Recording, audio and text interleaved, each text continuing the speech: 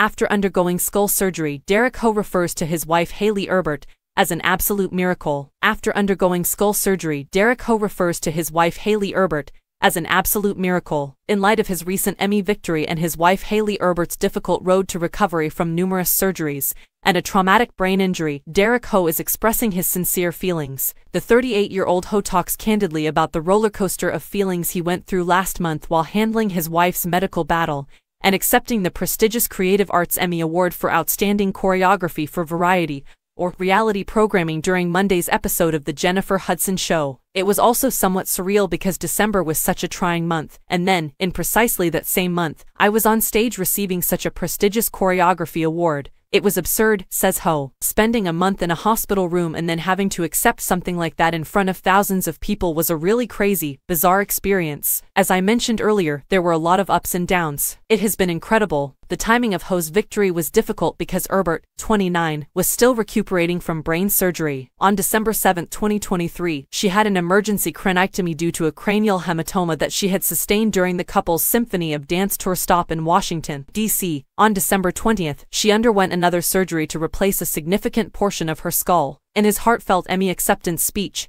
Hough thanked his wife and expressed his gratitude for her. Over the entire month, your bravery and strength have been amazing. Every day, you inspire me, Hough said with tears in her eyes. Hough gives an update on Erbert's recuperation progress in a recent interview with Jennifer Hudson, saying, She is doing amazing. She is truly amazing, truly miraculous. He also thanks fans and well-wishers for their unwavering support during this difficult time.